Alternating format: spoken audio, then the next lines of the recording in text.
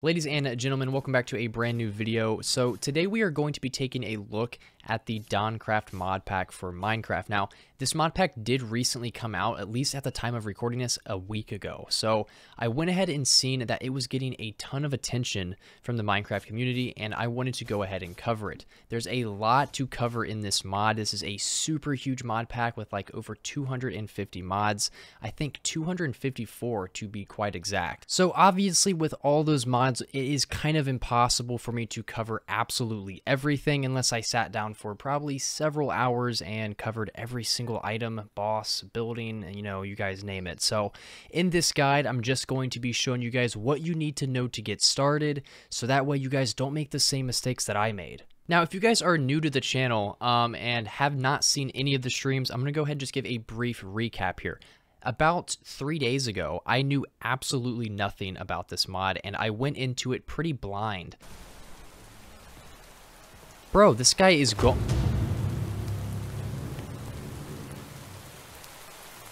Long story short, it did not end too well for me because, well, everybody kind of hated me. I had enemies in every village I stepped foot in, and I was constantly getting attacked. Oh, that's an... Bro, that guy kicked my ass. So to go ahead and save this from happening to you, let's go ahead and get started on what you should do. Upon spawning into your map here, you will be greeted by a Korok, which is this tiny little like tree guy, right? You will speak to this guy. You don't necessarily have to but I would highly recommend you speak to this guy. He's going to give you some basic dialogue, kind of tell you exactly what your purpose is and what the main mission is. So it's kind of like Elden Ring, you know, you got to take out the big, massive, you know, boss guy at the end and, you know, whatever, save the world, you know. Now, during this dialogue, he is going to mention that you need to make your way to the nearest village and speak to the guildmaster to receive your first quest, which will in return give you your first skill, which is going to be absolutely crucial for the combat. So how do we get to this village? You know, you guys may be wondering, how do we locate this village? Is it any village? Um, in theory, yes, it really could be any village. You could just kind of walk until you find one. However, upon first load up, you guys are granted three items. Now, if you guys look in your hotbar below, you guys will see these items, and uh, one of these items is pretty essential. The other two, I guess you don't necessarily need, but the first item is a basic, like, uh, it's kind of like a journal map. Um, it will allow you to add and remove markers, and it will also show you your deaths, and it will also indicate various structures around the map as well. Now, as for the second item, it is also another map. Um, it does have I guess, some importance. Uh, you don't necessarily have to use it, but it does show you the nearest village, which is where you do have to go to get your first quest after speaking to the guildmaster. Now, the village is marked by a humongous red X. It's pretty hard to miss.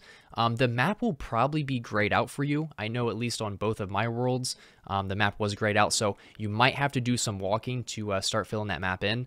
Uh, but once you get there, speak to the guildmaster, and then you will receive your first quest.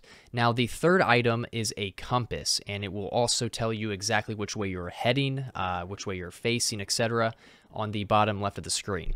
Now, once you locate your first village, uh, whether it's the uh, one that's marked on the map or not, um, once you get to a village, guys, you're going to look for the guildmaster. Now, he's typically in this long building.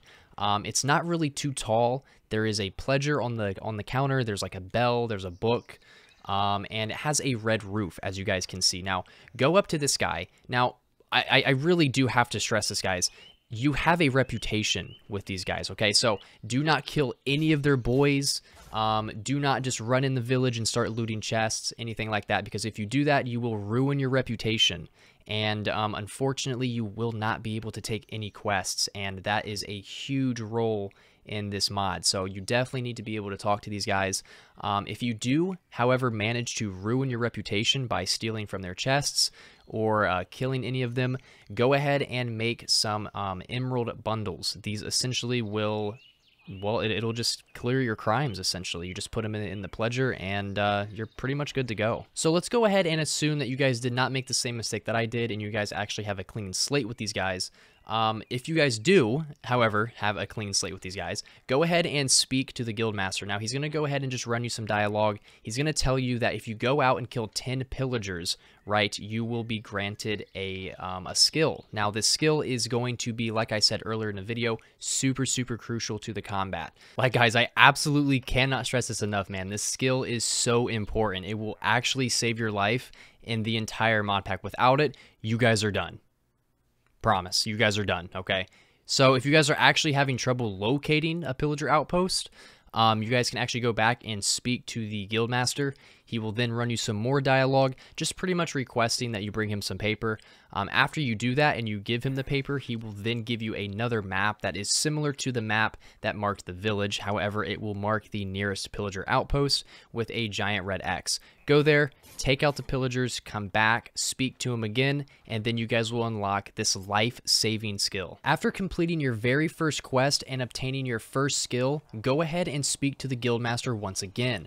What he's going to do is give you another quest which will have you take out the Goblin King. After killing the Goblin King, you will get a notification on the bottom of your screen above the hotbar letting you know that the quest is complete. Go ahead and go back and speak to the Guildmaster once again, and then he will send you on your very first, I guess, boss fight quest. Well, I guess a really serious boss fight quest.